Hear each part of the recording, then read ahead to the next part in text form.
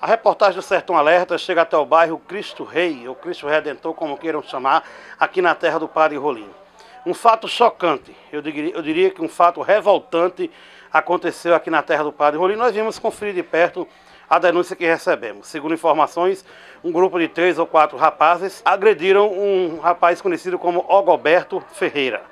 Nós estamos na casa do Ogoberto e aí vamos conversar com ele. Nos deparamos com uma cena realmente triste o Algoberto está muito machucado diante do espancamento que sofreu por esses verdadeiros monstros que infelizmente habitam a terra do Padre Rolim. Pessoas que deveriam no momento estar presos ou até mesmo confinados em uma masmorra que é lugar de cabra ruim.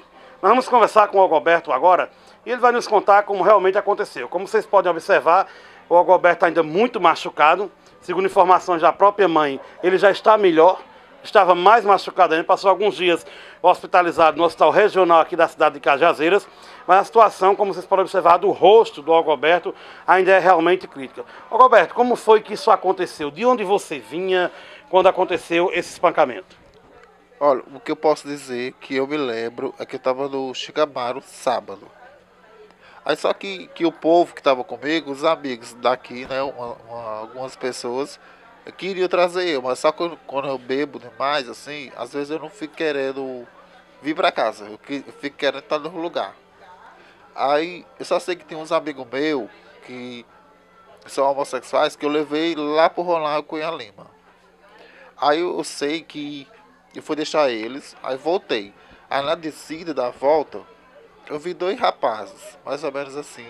E até umas, uma, uma amiga minha ia passando na hora, aí viu quando esses rapazes estavam me chamando. Mas eu não sei se foi, foram eles. Eu ainda estou em dúvida. Minha mente ainda está muito perturbada. Eu não estou conseguindo lembrar quase nada ainda. Mas como foi a abordagem desse, desses rapazes à sua pessoa? Você vinha descendo sozinho e de repente foram logo lhe espancando, não falaram nada, já foram direto espancando? Eu fui descendo só. Eles me chamaram, aí eu fui. Quando chegou no lugar lá, esquisito, tava muito esquisito o lugar. Acho que é por isso que eu não consigo identificar, assim, nenhum, o rosto, nenhum.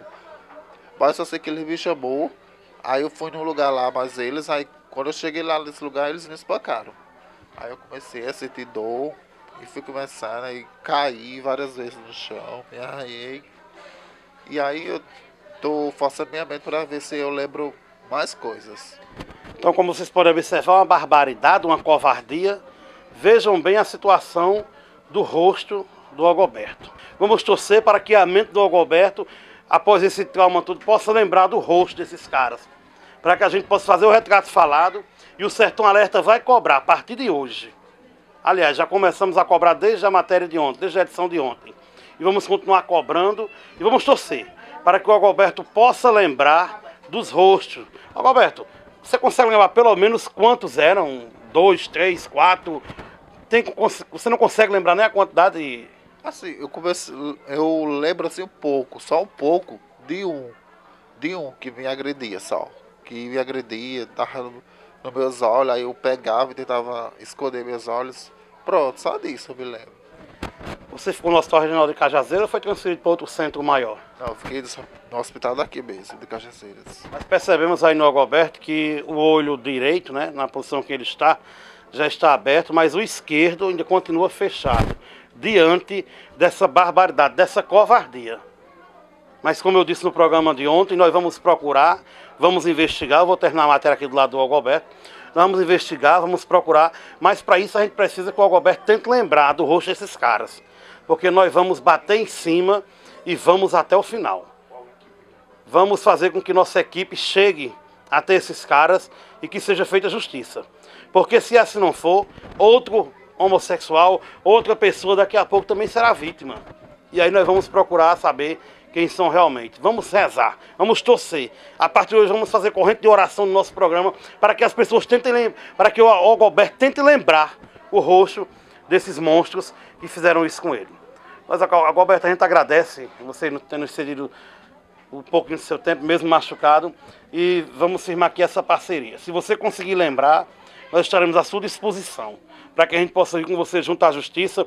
Dizer também que o movimento é, GLBT de Cajazeira já está se movimentando no sentido de tentar fazer uma investigação com relação a esses caras. E nós vamos chegar até eles, não vai ser difícil não. Não existe crime perfeito. Algo Alberto vai lembrar e nós vamos chegar até esses caras. A gente agradece por você ter cedido suas imagens e conversado com a gente aqui para o Sertão Alerta. Agradeço a vocês por estar aqui nesse momento, né? Tão doloroso assim para mim. Muito bem, nós encerramos com a imagem de Ângelo Lima e vamos continuar na investigação. Na hora que o Alberto lembrar pelo menos um pouco da face desses caras, vamos conseguir o retrato falado e vamos até eles. Com a imagem de Ângelo Lima, nós fechamos aqui essa matéria direto do Cristo Redentor na terra do Padre Rolim.